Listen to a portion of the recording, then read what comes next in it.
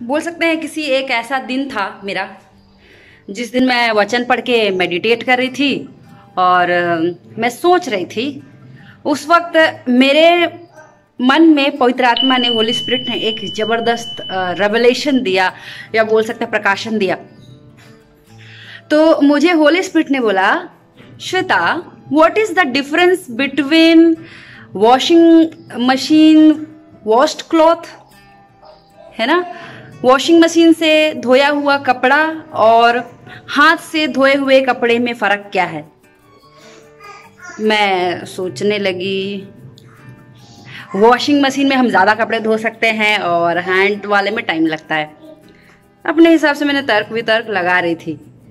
पर मुझे एक बात, एक टिप मुझे होली स्प्रिट ने समझाई और वो सचमुच ज़बरदस्त थी।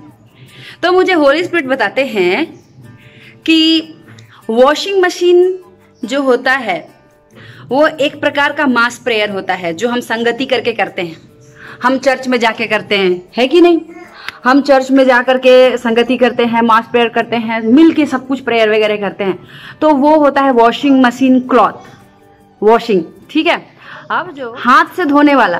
तो हम लोग मोस्टली हाथ से कपड़े कब धोते हैं? सोचने वाली बात है।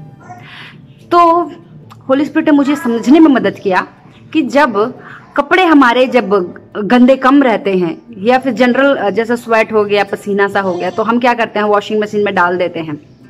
वो अपना घूमता है घूमता है, साफ़ कर लेता है।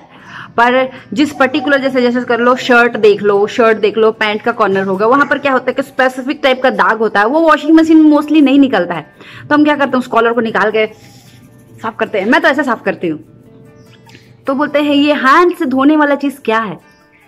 तो ये बोलता है, आपका ये पर्सनल सिंगल अटेंड किया हुआ मेडिटेशन टाइम है, परमेश्वर के साथ बिताया हुआ सेपरेट टाइम है। तो मास प्रेयर ज़रूरी है, क्योंकि आपका जनरल जो गंदगी है, उसको साफ़ करने मदद करता है। लेकिन कुछ गंदगी पर्टिकुलर एरिया में सिर्फ़ आपको पता होता है। वो चर्च नहीं जानता, ना आपका पास्टर जानता है, ना आपके लोग जानते हैं। पर कुछ पाप आपके अंदर खुद आप जानते हो। उसको आपको खुद पर्सनल में जा करके धोने की ज़रूरत है। तो पर्सनल प्रेयर बहुत इंपॉर्टेंट है। ये पर्सनल प्रेयर बिल्कुल उसी की तरह है, जिस तरह हम लोग अपना हाथ साफ़ कपड़े को जो है पर्टिकुलर एरिया गंदा होता है, उसको साफ़ करने वाला। तो चर्च भी बहुत इंपॉर्टेंट है। मास प्रेयर अटेंड करना भी उतना ही इंपॉर्टेंट है। और उतना ही इंपॉर्टेंट आपका पर्सनल प्रेयर है, जो आपके अंदर के, खुद के पाप को क्लीन करने में हेल्प करता है। तो यही है डिफरेंस वॉशिंग मशीन की धुलाई का और हाथ की धुलाई का। तो मेरा कपड़ा रेडी हो गया है। मैं जाती हूँ, धोती हूँ और सुखाती हूँ। आप भी अपना पर्सनल लाइफ की गंदगी को धोइए और जाके सुखाइए और रिप्रेजेंटेबल बनाइए।